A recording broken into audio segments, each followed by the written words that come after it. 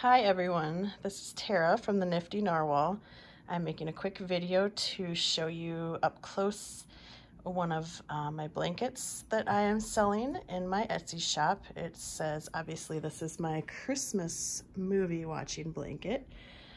Um, I permanently infuse the fabric with the dye from the ink, so it's not vinyl, it's not gonna peel off or crack.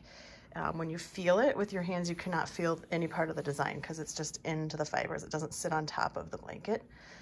The, um, the front part is like a smooth polyester. The back part on the inside is kind of like a fleecy, like fleecy performance fleece, fleece kind of material. I don't know how else to describe it, but it's very soft and warm, but it's also thin.